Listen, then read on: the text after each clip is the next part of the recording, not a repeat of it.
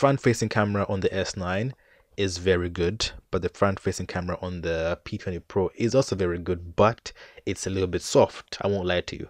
The Huawei P20 Pro has gotten the highest DxO mark so far and it's the second phone actually to do this. The first phone was a younger brother. That was the Huawei P20, not the Pro version, which got 102 and the Huawei P20 Pro got 109. So this is the highest rated smartphone on DxO mark. Now, this grade that it has received is not a full summary of what the phone is per se, what the camera has to offer. And from what I have seen and heard, the rated does not live up to the hype. And I'll tell you why in a second. Let's go first down into the subdivisions of the category because DxO does not give an average. It has a ranking order of what they think is more important than the other. So this ranking is very subjective. Let's look at all the subcategories that DxO mark has given to the Huawei P20 Pro so we can see if this phone camera or these three cameras live up to the hype and if the 109 rating was justifiable. We can see here that the DxO mark for photos that was given was 114 which is really high and the DxO mark for the video was 98. So these two are much higher than the Samsung Galaxy S9 ranking. For the exposure and contrast 93, color 85, autofocus 98, texture 72, noise 79, artifacts 71, flash 92, zoom 73, bokeh 70. So let me tell you what photographers look for when they're buying a camera or a lens or what are the most important things? First of all, a lot of these things are important, but for me as a photographer, I will be looking for, first of all, exposure and contrast. It's 93, which is really high, and I'm impressed with that. Um, autofocus, it's important, but not really that important when it comes to like speed and stuff. So 93 is really high, but it's not going to change my life. Um, the next thing I look for is noise. Noise as a photographer is very important. The less noise, the sharper the image. So this has got 79, and that's really good.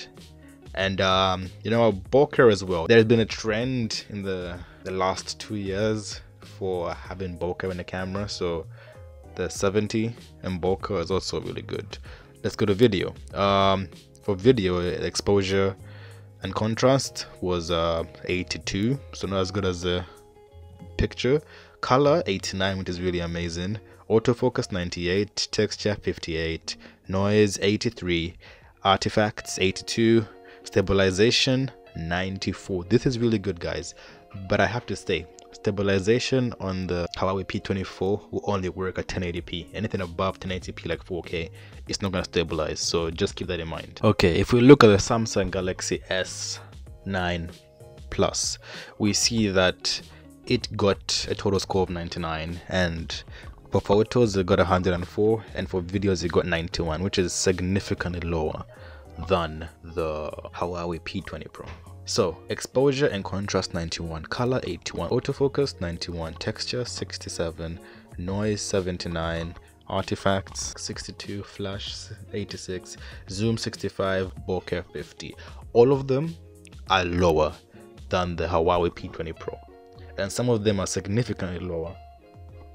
Uh, for example, the bokeh here is 50, but the bokeh on the Huawei P20 Pro is 70. This is a very big jump. If we look at the video on the Samsung Galaxy S9, it got 83 for exposure and contrast, which is the only thing that was higher on this phone than the Huawei P20 Pro. Color 88, autofocus 87, texture 50, noise 74, artifacts 80 stabilization 86 looking at these ratings does not determine if one phone produces a photo that is good or better than the other when taking a photo at 10 megapixels on the Huawei P20 Pro uh, compared to the rear camera or the Samsung Galaxy S9 uh, what was found was that it's very sharp at its normal amount, uh, not zoomed in. But the moment you go zoomed in, you can see that the photo has been artificially and overly sharpened and this gives you this very like rigid sharp corners that do not look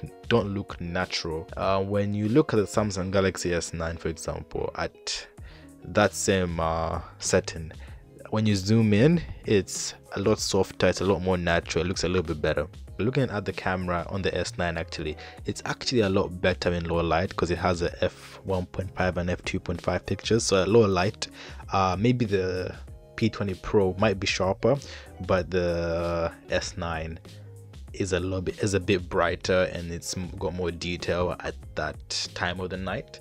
So if you're really into night photography, the S9 is the camera for you. Although it might have a lower DxO mark, the S9 is better at low light. But when the phone switches to 40 megapixels, it literally destroys the Samsung Galaxy S9. In lower light, the S9 is gonna be more superior, that's a guarantee. But when it comes to everything else, zooming in, uh, day photography, mm, slow motion, everything, the phone is just better, sharper, more dynamic range, better contrast, better bokeh, better texture, better noise. It's just it's got less artifacts. It's just it's got less moire. It's just a better phone. And 40 megapixel, the 40 megapixel camera on this phone is game changer and it deserves a 109 ranking. But one downside, one major downside, is that at 4K video recording, the phone does not have stabilization. And this is where the S9 destroys the P20 at 4K. Because at 4K, you can really see a difference in the video quality because they are both very good, very sharp, but because of the stabilization at 4K, in the S9 it just literally looks more professional looks better although the P20 Pro is a lot sharper so if you if you're into video recording at 4K get the S9 it's not as sharp as the P20 Pro but stabilization just makes a video more better.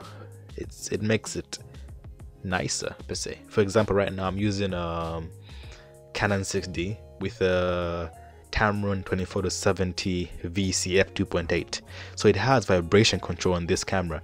So I could literally shake this and it will not jitter or look too bad so like having a VC camera or a VC lens or a lens that has stabilization inbuilt into it at 4K is really amazing 1080p stabilization is okay but people don't buy 4K cameras to use 1080p unless they want to save storage. But yeah, these are my thoughts on it. I think that the P20 Pro is the better camera. I won't lie to you. Compared to the S9, it has better everything. Literally, like look at the DxO mark. Everything is better. The exposure, it's it's very close on the video, so that doesn't really matter. But on almost everything, every single ranking, color, noise, exposure, all those things, bokeh the p20 pro is just far superior but if you're into 4k video recording and you're into low light photography get the s9 but if you're just a normal day-to-day shooter with the intention of taking selfie pictures and also one more thing i've got to say the front facing camera on the s9 is very good but the front facing camera on the p20 pro is also very good but it's a little bit soft i won't lie to you so if you want selfie cam, okay. So here's my suggestion. If you're into selfies, night photography, and 4K video recording, get the S9. But if you don't care too much about selfies, if you don't mind the softness of uh, of the selfie camera, if you don't mind recording 1080p stabilized video, and you're okay with night photography in the sense that you don't mind it a bit dark, and you just like the general sharpness of the phone, get the P20 Pro.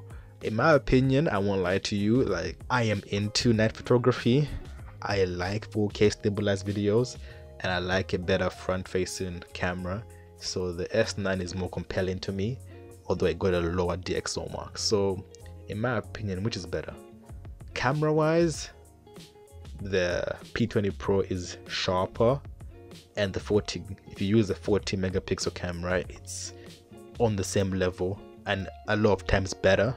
But if you don't care about over sharpness and having a more natural color temperature, the S9 is just literally better for selfies, better for night photography, better for video.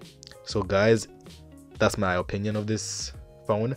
I feel like DxO Mark are justified per se, but for a normal day-to-day person, both phones are amazing. If you're a videographer or a photographer or you like taking photos at night, which is I would say most people, get the S9. It's a really good phone, really good cameras. So it's your boy Solid Mind. Please like, comment, subscribe. We're almost at 200 subs. We are going to reach 1000 subs by the end of next month. I believe it. So subscribe right now and thanks for watching. Peace.